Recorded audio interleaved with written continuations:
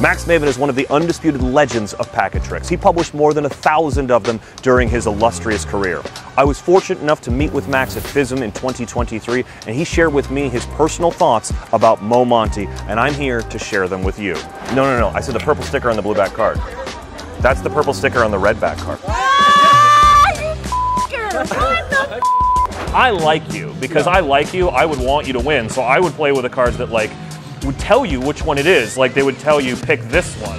The demonstration of a classic street con creates a huge amount of magic using just three cards. I'm going to tell you why you should never play the game three card Monty with a little demonstration here. Now, some people think that I cheat by having extra cards, but you can see the edges here, there's only three. Other people will play on the streets with the queen or maybe chase the ace. I'm not going to do that. I'm going to play it with three blank cards. You see, I've got one, I've got two, I've got three, blank cards. Now one of these has to be a target, so I'll let you choose any sticker you like. Let's say you'd pick this purple one right here. We'll put the purple one right there, and I'll take the, the card with the purple sticker out of the bottom and place it in the middle, mixing the cards up. Now I'm gonna bet you money to see if you can figure out where the purple sticker is. And when you bet on the middle card, that is when I show you that it's uh, right here on the bottom. When I put it back, that's when you tell me that you wanna pick the card on the bottom, and that's when I show you that the purple sticker is on the top card. When I turn it back down, I'll ask you to bet a third time, and you'd bet on the top one, but that's when I can show you that it's right here in the middle. Now I like you a lot and I want to make you win, so I would say just, I'll leave this face up